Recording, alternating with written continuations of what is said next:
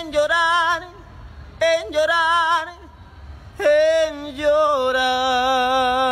Como tercer invitado en esta serie, tenemos a Eduardo Robles, una de las voces gemelas de Juan Gabriel. A Eduardo, lo puedes encontrar en TikTok, ahí está bajo el nombre de usuario como Eduardo Robles.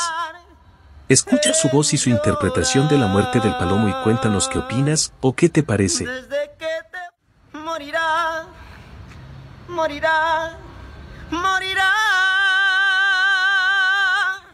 Morirá el palomo porque así es la muerte cuando hay soledad. Voces gemelas como la de Juan Gabriel, hay muchas en todo México e incluso en otros países. Encontrarás otras grandes voces de personas que han participado en algunos programas de televisión en los que concursan interpretando a nuestro Divo de Juárez.